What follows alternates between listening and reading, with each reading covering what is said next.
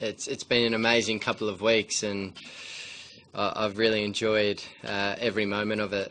Um, you know, we've put in so much hard work, the the preparation. Um, and everything that's come with this series, it's it's been huge, and um, to know that everything's worked out and we've been able to get that urn back, um, you know, all the emotions just came out at once, and um, you know, I'm just so pleased and, and happy for for the group, uh, everyone in there, and um, all the support staff and, and everyone that's put in the the work and uh, and everything to to get the success that we've had over the last couple of weeks obviously an, an Ashes series is um, is huge for, for Australian cricketers and English cricketers for that matter. Um, and there's always that added pressure. And you know, it was my first series, Ashes series as captain, and you know, I wanted to to make my mark and, and do something really special. And what the boys have done over the last couple of weeks has has been exceptional.